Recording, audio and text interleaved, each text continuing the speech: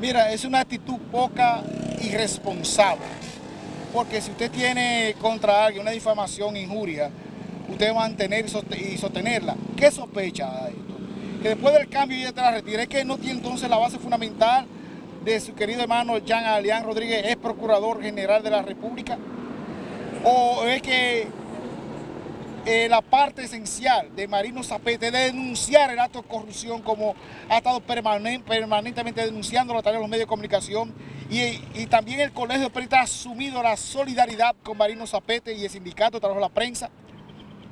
Ahora le digamos a esa señora, ¿qué pasó? ¿Por qué no se fueron a juicio? ¿Qué sucedió? Ah, que Jean Alain Rodríguez ya no está ahí ya. Así que nosotros estamos en un apoyo constante y sistemático a favor de Marino Zapete. Marino Zapete fue el único comunicador que tuvo las agallas de denunciar los actos de corrupción del gobierno de Danilo Medina.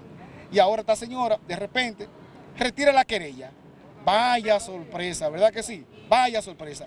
Por si estaremos al lado de Marino Zapete en este tipo de denuncias, porque el Colegio de Periodistas y Sindicatos no nos vamos a quedar atrás. En ningún gobierno que se entienda, en ningún gobierno los medios de comunicación están atentos al desarrollo de cada gobierno porque la corrupción atrasa a los pueblos.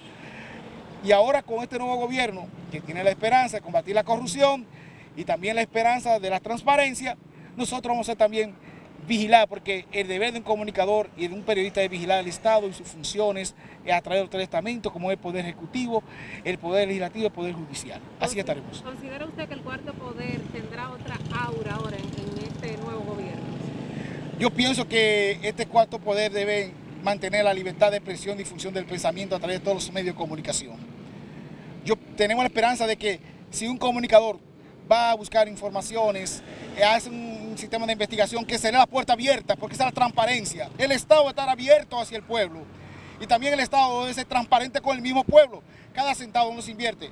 El comunicador tiene derecho a investigar, indagar e informar al pueblo, porque también eh, la Constitución le permite eso al comunicador, de indagar, investigar toda la información divulgarla, y divulgarla por cualquier medio. Es un derecho universal de los derechos humanos. Así que esperamos que este gobierno también respete la libertad de, prensa y difusión de pensamiento, porque también estaremos vigilantes sobre eso y sabemos que sí, porque es un partido democrático, abierto y participativo.